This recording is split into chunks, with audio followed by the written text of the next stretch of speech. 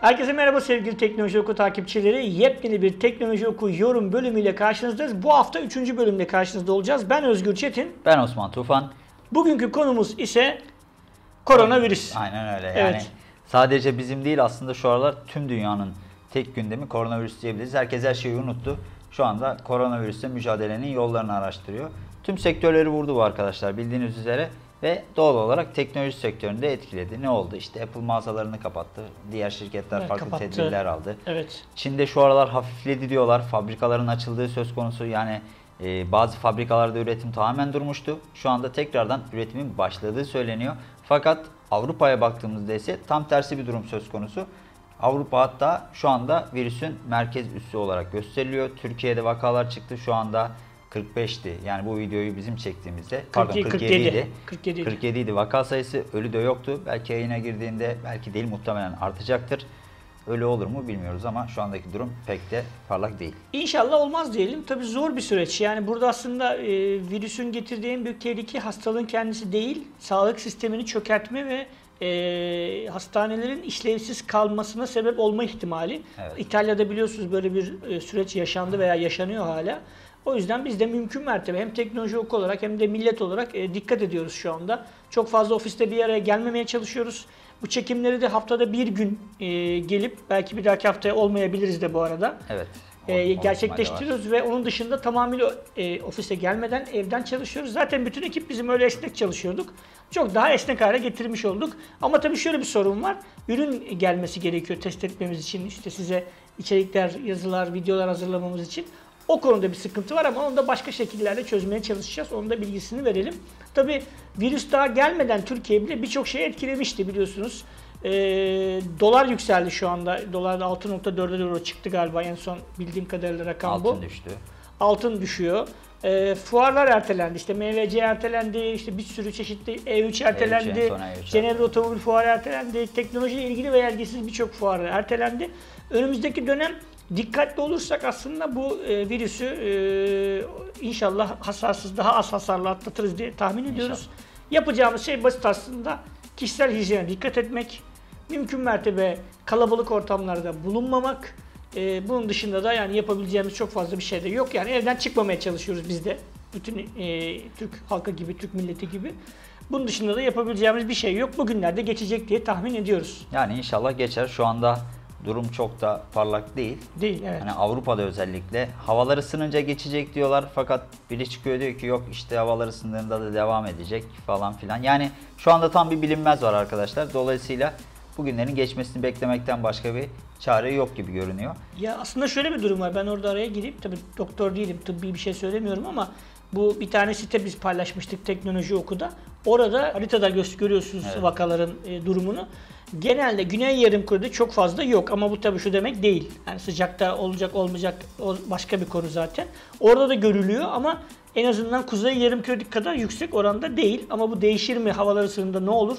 Şu anda bilmiyoruz. Çünkü yeni bir virüs bu. Daha doğrusu koronavirüsün yeni bir versiyonu. Bu koronavirüs zaten vardı eskiden beri ama bu yeni versiyonu Covid-19 dedikleri yeni çıkan bir virüs e, nasıl olacağını bilmiyoruz ama mümkün mertebe işte to- e, toplu mekanlardan uzak durmak, toplu taşımadan uzak durmak, kalabalık ortamlardan uzak durmak yapabileceğimiz en büyük şeylerden bir tanesi. Bir de kişisel temizliğimize, hijyenimize her zamankinden daha fazla dikkat ediyoruz. Onun dışında söylenebilecek çok fazla bir şey yok herhalde. Evet ben şimdi e, yazın biter diye düşünenler için şu bilgiyi paylaşmak istiyorum. E, Yaklaşık olarak 100 yıl önce yani 1. Dünya Savaşı'nın sonunda İspanyol gribi dünyayı sarmıştı. Bu gribe İspanyol gribi denilmesinin sebebi aslında İspanya'da ortaya çıkması değil. Bu virüs ilk olarak Amerika'da ortaya çıkıyor. Daha sonra askerler vasıtasıyla Avrupa'ya taşınıyor ve İspanya'da ilk kez bu virüs duyuruluyor. Dolayısıyla İspanyol gazeteleri duyurduğu için ilk İspanyol virüsü olarak kalıyor adı ve bu virüs 2 sene boyunca devam ediyor. Takribi olarak da 50 milyon insanı öldürdüğü düşünülüyor. Dolayısıyla arkadaşlar burada 2 sene boyunca devam ettiği için demek ki bu yazda devam ediyor, kışta devam ediyor. Hatta Mustafa Kemal Atatürk de bu virüse iki defa yakalanıyor, iki defa da atlatıyor yani. Hani herkes ölmüyor yakalanan ama ölüm sayısı bir ayda yüksek. Dolayısıyla burada da koronavirüsü de aynı şekilde önümüzdeki senede devam edebilir. Zaten İspanyol gribi de ikinci senesinde yüksek sayıda ölümlere neden oluyor. Bunun nedeni de yaz ayları geldiğinde virüsün tamamen bittiği düşünülerek hayatın normale dönmesi.